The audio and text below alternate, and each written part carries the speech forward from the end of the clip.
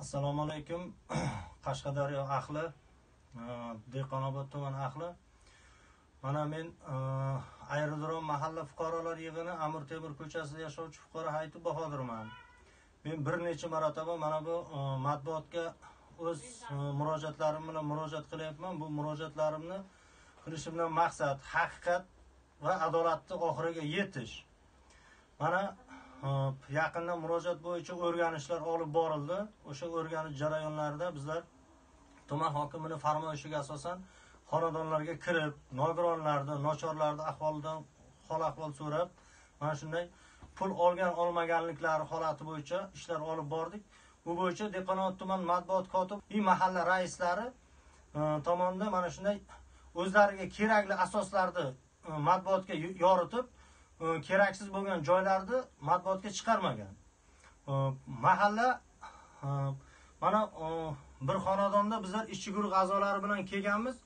Aka birinchi gruppa nogironi mana shu insonni xonadonni yashash turmushi holatlarini biz sizlarga ommaga e'lon qilamiz. Hozir mana bu yoritilgan masala bo'yicha hozir xalq orasida meni yomonga chiqarib qo'yib mana shunday bo'xtonlar qilyapti. Mana shu narsalarni asoslab berish maqsadida men mana shu fuqaroni xonadoniga kelganman. Aka siz mana o'zingizni fikringizni masalan mahallaga nisbatan ommaga nisbatan fikringizni yoritib mahallaga bo'lgan munosabatim mahalla raisi kotibi o'z boshimchalik qilib kimlarga bergan kimlarga qo'ygan hech hech kimni xabari yo'q. Biron marta kelib meni xabar olgan yo'q. Kelib biron marta xabar olgan mana prezident tomonidan berilgan yordam puli. Man yordam berilgan yo'q biron gram yordam berilgan yo'q yo'q boshqa necha marta men murojaat qildim. Necha marta. Mana kelsin ko'rsin dokazat qilib bersin agar bergan bo'lsa. Biron yordam. Mana shu aka sizni xonadoningizga ishchi guruh bilan kelib sizni mana ro'yxatga tavsiya qilib bizlar ro'yxatga olib bordik. Hozir mahalla tomonidan inobatga olinmayaptida. Aka mana siz birinchi guruhga nogironisiz. To'g'ri. Ho'p mana aka 1 million 200 1 million 300 ming so'm pensiya oladi to'g'ri. Xotini 1 milliondan ziyod oylik oladi poliklinikada ishlaydi. Qizi poliklinikada ishlaydi. O'g'lini tayida ravon avtomashinasi bor jigulisi bor yashash sharoitini qarang aka. Nima sababdan ularga 1 million so'm nogiron birinchi guruhga nogiron deb inobatga olinib berilgani siz birinchi guruhga nogironisiz siz 500 ming so'm pensiya 550 ming so'm pensiya olasiz sizga nima sababdan bermagan? Xonadoningizga masalan davlat ishida ishlamaydigan ishlaydigan birorta odamingiz yo'q to'g'rimi? Yo'q. Nima bir sabab ayolim ishlaydi bir ayolim maktabda farrosh bo'lib ishlaydi ikki yuz sakson ming oylik olib ikki yuz sakson ming nima kim nimaga yetadi bir xalta unga yetmaydi.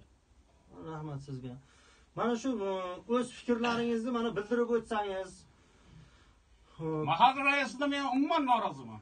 Bir necha marta men murojaat qildim telefon qilib telefon orqali aytdim men. Yordam qilinglar hech bo'lmasa yordam qilinglar iltimos ha dedi yordam qilamiz unday bunday. Bir marta aytdim ikki marta aytdim yordam qilamiz. Aldab ketyapti. Bittama bitta ko'rsatishim mumkin. Murojaatnomasi aka keyin mana bu siz o'tgan safar bizlar kelganimizda mm, qamash tuman majburiy ijro tomonidan sizga yigirma yigirma millionmi yigirma bir million so'm pul yigirma to'rt million undirib berish kerak majburiy ijro qamash tumanida. Sudni qarori bor sudni qarori bor. Murojaat qildim. Kim necha marta murojaat qilib qayerlarga murojaat qilgansiz? Qamash tumaniga. Viloyat hokimiga ikki marta murojaat qilib xat yozib yubordim karantin deb qaytarib yuborishdi xatni prokuraturaga murojaat qildim. Yaqinda mana prokuratura qarshi viloyat prokuraturasiga murojaat qilib xat yuborganman javobini kutib o'tiribman.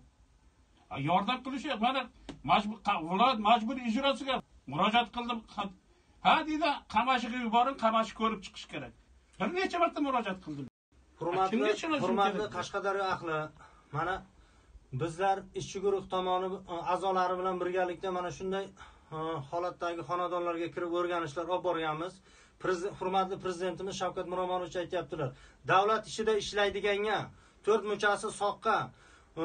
Oilasiga bir oyda uch to'rt e, besh million so'm daromad keladiganlarga dayvosi bor odam nochor hisoblanmaydi. Mana shunday xonadonlarga berilmasin deyilgan. Eng nochor qatlamdagi karantin davrida pandemiya davrida daromad manbaidan uzilganlarga yana ham uni sharoitini kelib chiqib oilaviy sharoitidan kelib chiqib birinchi o'rinda eng nochor qatlamdagilarga berib undan keyin odamgarchilik e, nuqtai nazaridan u keyingilarga berilishi kerak degan holatlar mavjudda. Mana davlat ishida ishlaydigan kali zavodlarda ishlaydigan ikki yarim million so'mlab ikki million so'mlab oylik oladiganlarga boshqa davlat tashkilotlarida ishlaydigan uzluksiz o'qituvchilarga berilgan maktabda doimiy mana karantin davrida ham prezidentimiz tomonidan davlatimiz tomonidan oyliklar uzluksiz berilib keldi. Masalan oilasida daromadi manbai bor. Ikki uch million so'm daromad manbai uzluksiz keladigan xonadonlarga berilgani lekin yuz so'm ham daromad kirmaydigan xonadonga berilmasligi bu qaysi haqiqat va adolatga to'g'ri keladi? Mana bu narsani men yuqori respublika markaziy studiyalardan boshqa boshqa ommalardan e, kerak bo'lsa jahon matbuotlaridan kelib mana shu holatlarni men o'rganishlarini iltimos qilib so'rayman. Men mana shu holatlarni yoritib isbotlab beraman. Xalq oldida meni hozir yomon otlarga chiqaryapti mahalla raisi mana 200 million so'm davlat mablag'ini talon taroj qilgan 200 million so'mdan kam chiqsa men kissamdan beraman javob beraman shu so'zimga. 200 million so'm. Tuman prokuraturasi bir mahalladan hujjat olib reviziyaga bera olmaydi. Bu qanday haqiqat adolat mana aka bir oddiy kambag'alni bolasi bitta birovni bir e, chichqoq ulog'ini o'g'irlasa uni o'sha kunda o'ziga qamoqqa oladi. Yo'q kerakli chorasini ko'radi. Mahalla raisi mansabdor bo'lgani uchun yo aka ukasi og'aynilari deputat bo'lgani uchunmi mansabdor bo'lgani uchun bunga hech kimni iloji yetmayaptimi? Yo hokimiyat manfaatdormi? Yo boshqalar manfaatdormi? Nima nima evaziga ololmaydi? Mana shu haqiqatni ro'yobga chiqishi uchun men yuqori tashkilotlardan vazirliklardan shaxsan hurmatli prezidentimiz shavkat miromonovichdan iltimos qilib so'rayman. Mana shu haqiqatni ro'yobga chiqarib berishga amaliy yordam berishingizni so'rayman.